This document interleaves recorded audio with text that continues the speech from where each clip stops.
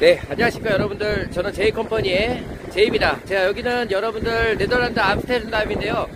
에, 여기 이곳 대통령 어, 이 오늘 네덜란드에 옵니다. 그리고 교민들과 오늘 행사가 있고요. 그 다음 이곳 내일 이곳 암스테르담 도움광장에서 어, 대통령의 만찬이 있을 예정입니다.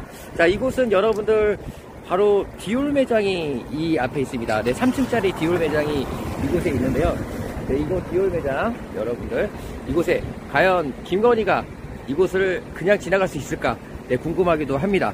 네, 집에 있는 네, 도움 광장이고요. 어, 이곳 그 국왕이 살고 있는 어, 곳입니다. 그래서 이곳에서 13일 행사가 있는데 지금 여러분들 보시면은 어, 네덜란드 관계자와 네덜란드 에, 한국 그 대통령실 관계자들이 지금 저 차에 탔습니다.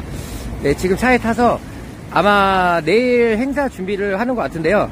제가 봤을 때는 이곳에서 어, 내일 만찬 행사가 아마 있는 걸로 제가 알고 있습니다. 근데 하필이면 여기 디올 매장이 있고요. 와, 저 차에 네덜란드 관계자와 그 다음에 그다음 우리 대한민국 어, 관계자들이 지금 차에 타는 걸 볼 수 있었습니다. 정말 우연치 않게 본 거고요.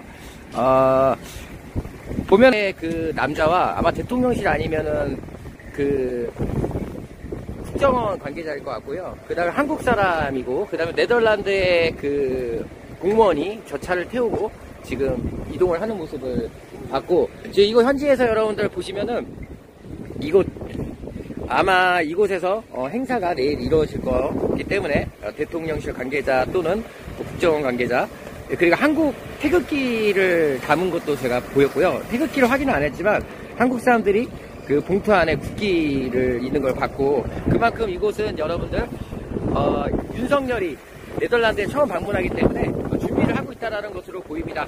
하여튼 여러분들 대한민국 기자 최초로 유튜브 최초로 이곳 윤석열이 네덜란드에 와서 어떤 걸 하고 가는지 잘 한번 찍어보도록 하겠습니다. 네.